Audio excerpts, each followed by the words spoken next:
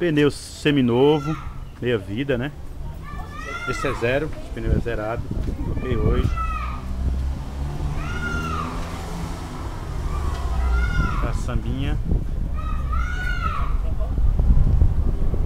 Primo, deixa eu entrar aí pra mostrar aí por dentro aí. É o meu motorista. Motorista.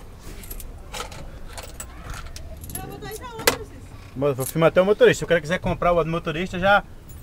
Agora não fica dando esse preço baratinho não de irmão, não. O motorista aqui de um caminhão desse aqui, pros outros aí, não trabalha com, salário mensal, ganhando ou não ganhando por menos de 1.500, mas comissão não, viu? Falando que eu faço. Você não pra compra um você caminhão é não que você vai ganhar isso.